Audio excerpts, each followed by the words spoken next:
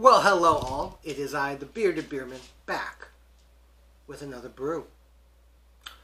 Was helping my dad work on a car, and we needed some refreshments. So, went to the local store and picked up some beer from Kona Brewing.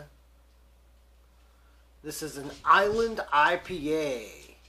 The subtle bitterness of hops is balanced with a passion fruit, orange, and guava.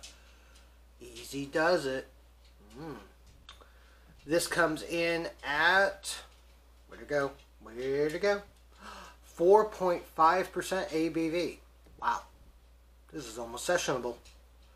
This is the Han- Hanalei Island IPA. Ah, and at time of filming, this is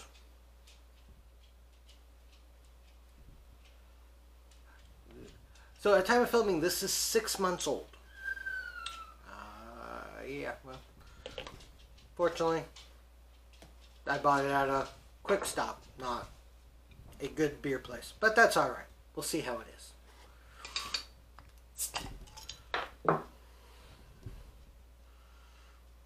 Well, there's fruit smells, so that's good.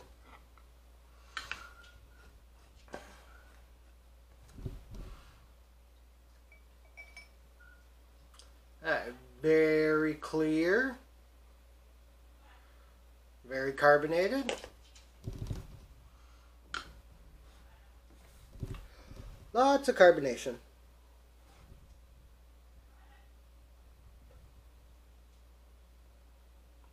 Oh, can you see those bubbles? Oh yeah. Wow. Uh, a finger of head, very white, frothy. And I am drinking this beer out of my very own the Bearded Beerman pint glass. Mrs. Beerman got that for me for Christmas.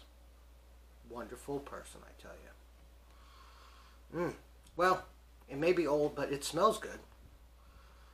Definitely picking up that guava. Holy cow. What other things? Passion fruit, guava, and orange. Getting the guava, getting the orange on the nose. Might be picking up that passion fruit, but maybe it's just what I think I should be smelling. Well, cheers to y'all.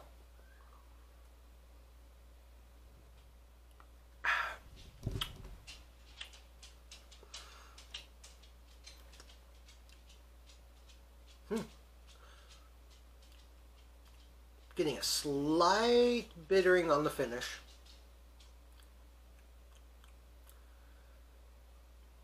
Getting a kind of that uh, lingering aroma of fruit. Well, you know what? For 4.5%, it's not bad. It's light. And when we bought this, it was 102 degrees outside, working in the sun, on a car. And, um, hey, you needed something refreshing. And it did the job. So, can't argue with that.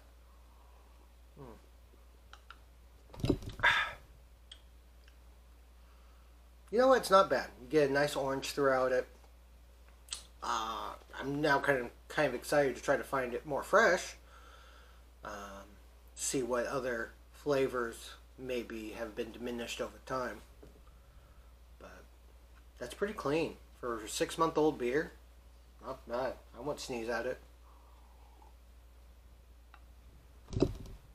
And I think I got it for about a dollar a beer, so